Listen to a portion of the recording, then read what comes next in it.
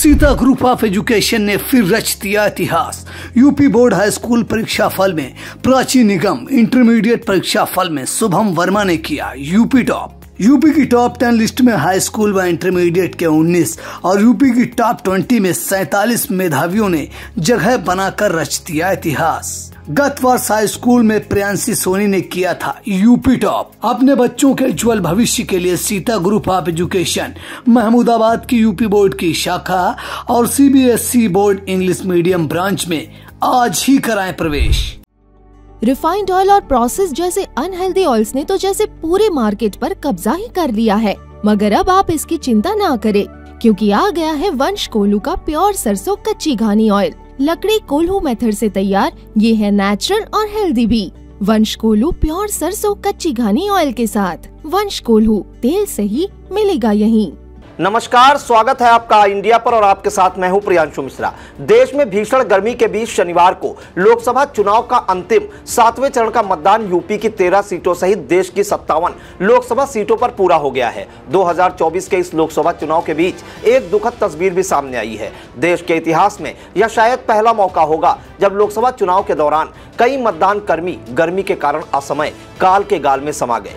इनकी मौत heat wave से होनी बताई जा रही है। सियासत में पारा हाई होने के साथ साथ इस बार गर्मी का पारा भी अपने उच्चतम स्तर पर है। रोज तापमान अपने नए नए रिकॉर्ड तोड़ रहा है। अब तक केवल गर्मी के कारण देश में सैकड़ों लोगों की जान जा चुकी है। इन मौतों में वे मतदान कर्मी भी शामिल हैं, जिन्होंने भारत जैसे दुनिया के सबसे बड़े लोकतांत्रिक देश के सबसे बड़े त्योहार को संपन्न कराने में अपना महत्वपूर्ण योगदान दिया।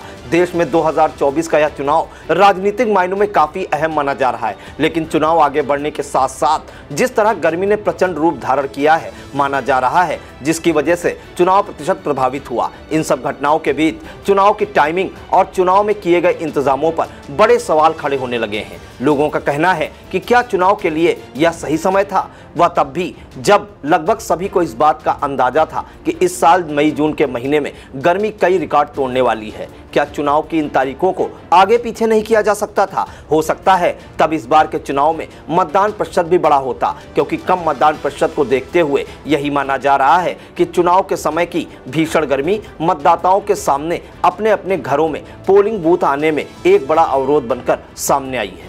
जबकि जनता के मन में जो दूसरा सवाल खड़ा हो रहा है, वह चुनावी व्यवस्थाओं पर। व्यवस्थाओं पर सवाल इसलिए क्योंकि बताया जाता है कि शुक्रवार को पूर्वांचल में 26 मतदान कर्मियों की मौत हो गई। इसी तरह उत्तर भारत में गर्मी और लू के कारण कई मतदान कर्मियों की मौत हो चुकी है और कई अस्पतालों में भर्ती हैं। लोगों का मानना है कि यदि इस भीषण गर्मी में मतदान कर्मियों के लिए बेहतर व्यवस्था मुहैया कराई जाती तो शायद इस तरह के हालात नहीं उत्पन्न होते।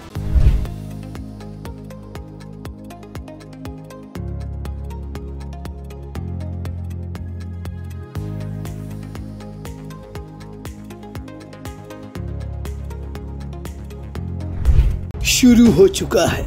काउंटिंग का काउंटडाउन चार जून को मिलेगी नई सरकार। आई इंडिया पर देखें 80 सीटों का हाल।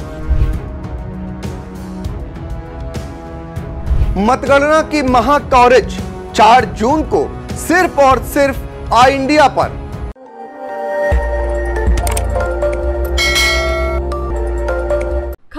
आपकी नज़र हमारी। देखते रहिए आई इंडिया।